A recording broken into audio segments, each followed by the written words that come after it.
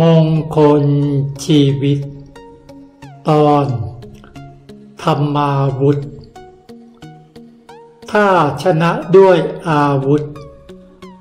จะสิ้นสุดด้วยความแค้น ใช้ธรรมะชนะแทน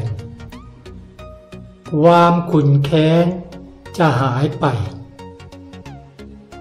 ถ้าเสรีไม่มีขอบเขต จะเป็นเหตุให้วุ่นวาย ถ้าเสรีตามกฎหมาย ความวุ่นวายสงบลง ถ้าผู้ใหญ่ตามใจว่า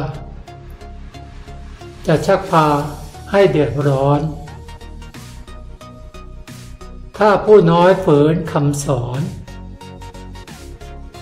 จะเดือดร้อนไปทั่วเมือง ถ้าทำงานมุ่งเพื่อตัว จะหมองมัวชั่วชีวิต ถ้าทำงานเพื่ออุทิศ สิ้นชีวิตชื่อยังอยู่ เป็นพระไม่สังวร จะถ่ายถอนความศรัทธา เป็นชาวบ้านไม่มีศีลห้า จะนำพาให้ร่วมจม ดีชั่วอยู่ที่ตัวทำสูงต่ำอยู่ที่การ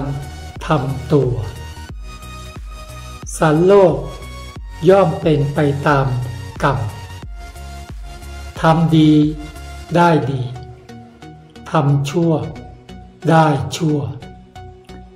ทำดียังไม่ได้ดี เพราะทำดียังไม่มากพอ อยากได้ดีไม่ทำดี นั้นมีมาก ดีแต่อยากหากไม่ทำหน้าขำหนอ อยากได้ดีต้องทำดี อย่ารีรอ